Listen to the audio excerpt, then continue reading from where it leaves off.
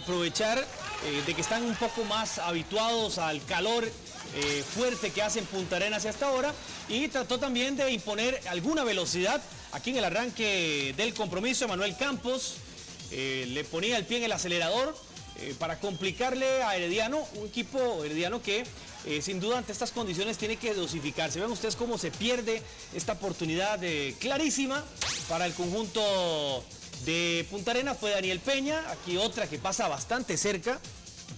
bastante cerca de la portería de Leonel Moreira. Herediano, por supuesto, eh, tenía que insinuarse y aquí lo hace el cuadro florense y porque tiene una buena nómina, unas figuras eh, bastante interesantes y que hoy hasta el segundo tiempo lograron imponer justamente eh, esa calidad que tiene en su nómina para triunfar en el primer partido del torneo de Vera. Debut en este torneo de los dos técnicos también, Alfredo el Diablo Contreras en Punta Arenas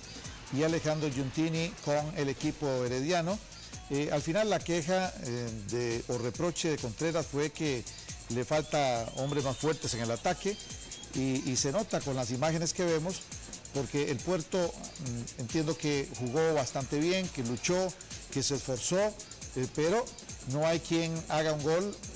no hay quien la meta, entonces al final se pagan las consecuencias cuando un equipo como Heredia, que llegó solo en dos ocasiones claras, convirtió una de ellas como el único gol para el triunfo anhelado el día de hoy. Sí, tal vez la combinación de, Manuel Campos, Ariel Santana y tal vez ahí apoyándoles un poco atrás de Daniel Peña, no, no tiene tanto tanta contundencia en Punta. Habrá que esperar a que se desarrolle un poco más el campeonato para ver qué pueden ofrecer. Aquí una que le queda clara, no la desaprovecha el colombiano Oscar eh, Briseño. La pelota quedó suelta, parecía no pegarla muy convincentemente,